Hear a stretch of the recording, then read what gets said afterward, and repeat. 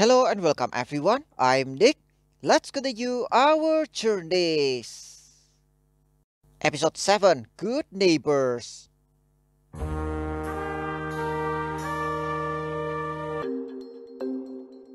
We haven't seen Guy for days. He hasn't stopped by.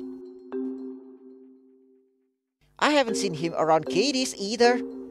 He was very upset when we mentioned the police. He ran away very scared. Poor kid, who knows what he may have gone through with the police? What do I do? I need to know what's going on.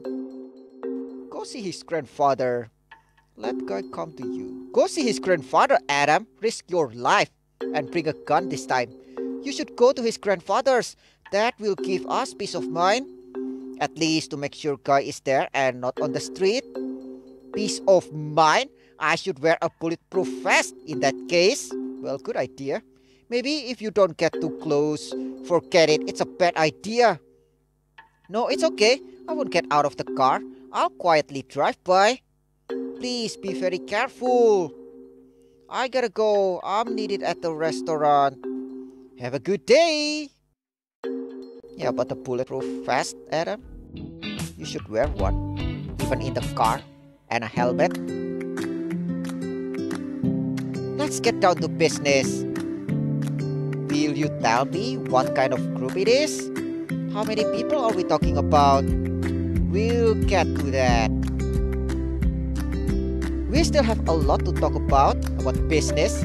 In business, it's better to put everything on the table as soon as possible. I agree. It happened to me when I was setting up the inn. My so-called partner disappeared and left me alone with all the expenses. Don't worry, we're not going into this blindly. We're gonna be like Macy. So we can say that we are on the same page? Yes, absolutely. So, were you born in Greenport or did you move here? I was born here, but I also traveled a lot.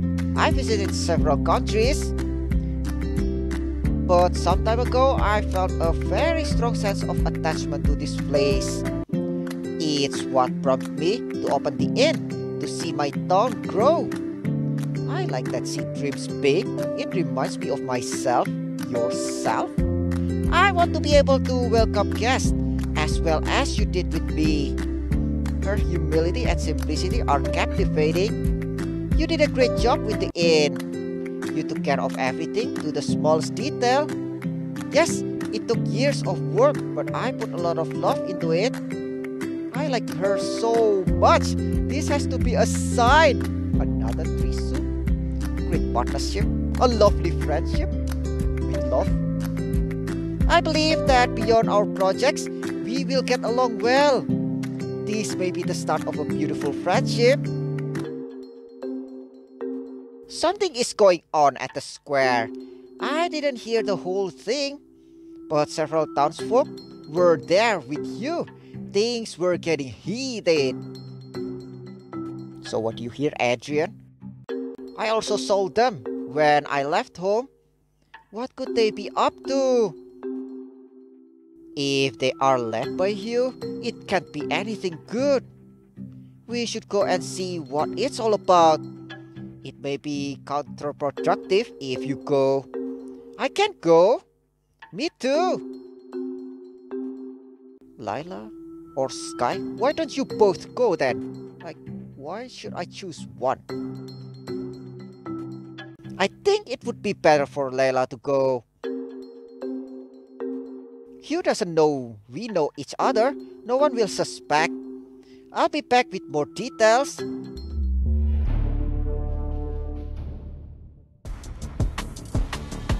We need to drive these intruders out of Greenport.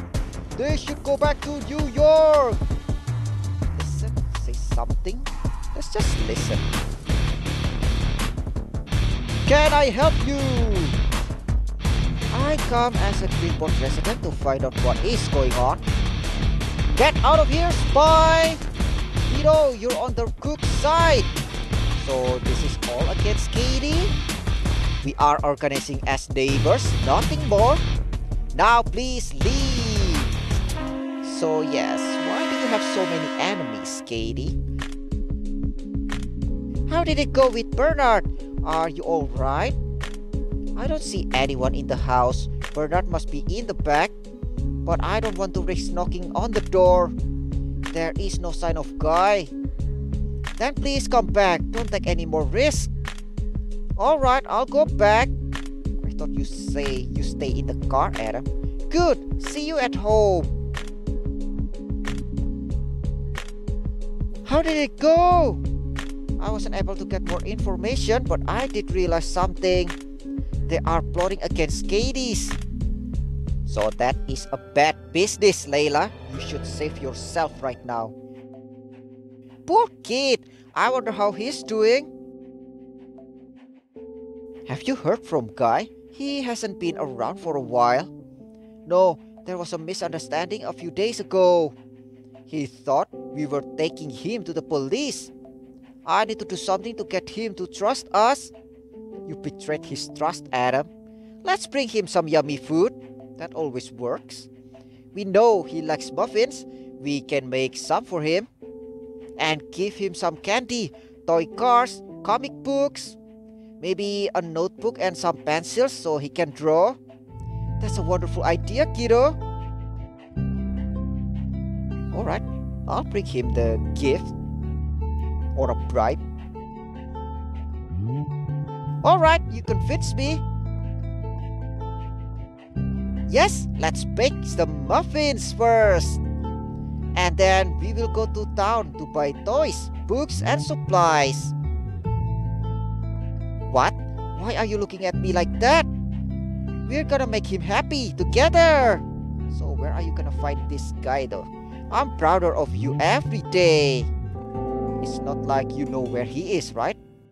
We want to help him, not scare him. We'd better hide.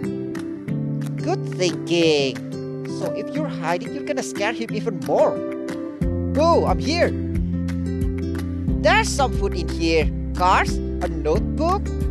Look, he, oh no, he hurt me. Come out, you don't have to hide. This is, thank you so much. Dad, tell him. Kid, I wasn't going to call the police. I only want what's best for you. Notice the police. I wasn't expecting this.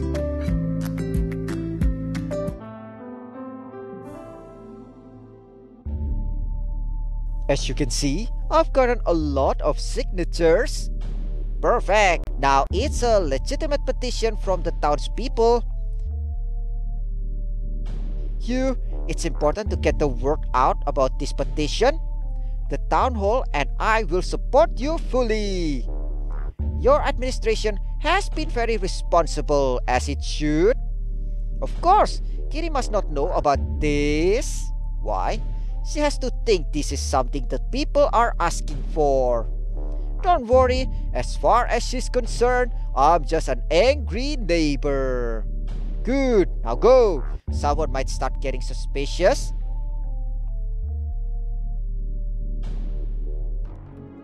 Pass me the knife, please. There's a protest outside. Peace and quiet. What's going on? Greenport is not a peaceful town it used to be. We won't stand for it anymore. And it's all because of you, Katie. Why do you bring troubles everywhere you go? Thank you for watching. Have a wonderful day. Don't forget to subscribe to my channel and see you guys on our next journeys.